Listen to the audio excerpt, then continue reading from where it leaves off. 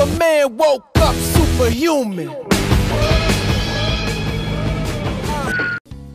Yo, internet, how's it going? Looks like Grand, Gran Turismo is at it again. Let's see what they brought for us so that we can have a good time, I guess. Hmm. Honestly, I really have no problem with the Grand Gran Turismo games.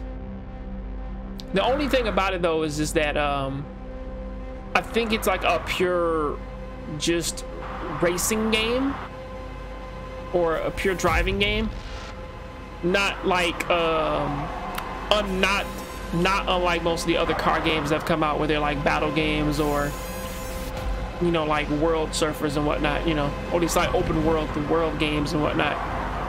Kind of like how need need for speed had turned into for a little bit or you know or how burnout is